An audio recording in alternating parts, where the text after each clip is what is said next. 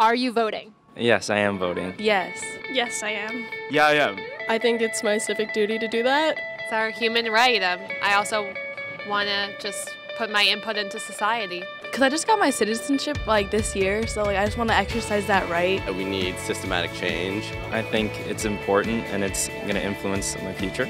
Well, you gotta make your voice heard, you know? It's the first step towards making the changes we need. My parents actually weren't born here, um, so when they became an American citizen, they, and I was born here, so for me, voting is a right. Um, it's a privilege. Since we have the privilege to vote anyway, we might as well use it. There are people all over the world that don't have that privilege, and it's so underused over here. So I just hope that the student population um, garners enough votes and everything, and we all make an effort to vote.